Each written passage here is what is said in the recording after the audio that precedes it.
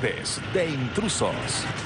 Feliz y radiante está por estos días Carolina Ardoain. La modelo más conocida como Pampita fue madre nuevamente, agrandando a la familia que conforma junto a Benjamín Vicuña. El actor fue quien confirmó la noticia en su cuenta de Twitter, donde subió una foto del pequeño pie de su bebé, que pesó más de 3 kilos y nació en Chile y lleva como nombre Beltrán. Dicen que el tercer hijo de la pareja vendría con la marraqueta bajo el brazo y estarían preparándose para el matrimonio.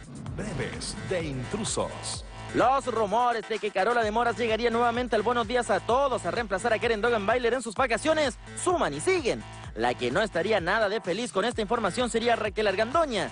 Según algunos, la opinóloga no querría a De Moras de vuelta. Le preguntamos, ya que no adivina quién nos dijo. problema tú en lo personal de trabajar con Carola de Moras?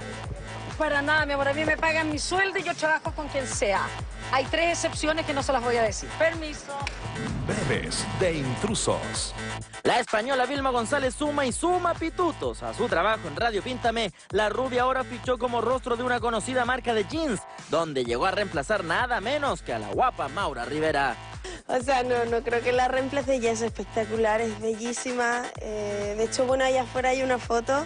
eh, y no sé, no, no, todavía no sé si voy a hacer la campaña este año ni nada, así que todo se verá. Breves de intrusos.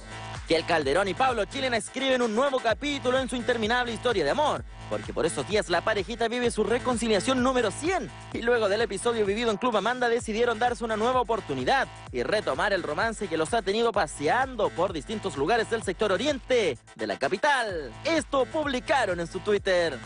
Llegando de una tarde de compras con Kel Calderón. Breves de intrusos.